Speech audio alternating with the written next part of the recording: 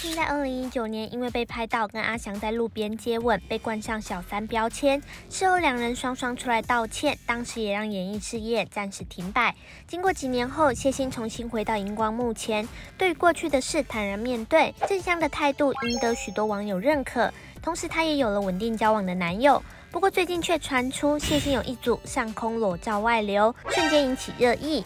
照片中，谢欣只穿着内裤，上半身什么都没穿，疑似还露点，尺度相当大。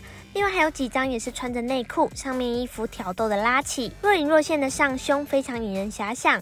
原以为是谢欣新书的内容，但据了解，谢欣知道照片外流后，本人非常崩溃。据三立新闻网报道，致电给拍摄方统筹阿乐，他表示这些照片的确是为新书而拍。是有拍一些比较风格不同的照片，但没有要出现在书里。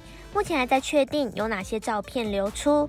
对于拍摄工作照被曝光，似乎也觉得很傻眼。事后谢欣也在脸书发文，疑似是对自己喊话：春天即将到来，请大家打起精神。人生不也如此吗？总有逆境困境，但冬必为春。文中也附上一张微笑的自拍，正能量的发文也获得网友一片赞赏。但对于裸照外流的原因，似乎还是有待厘清。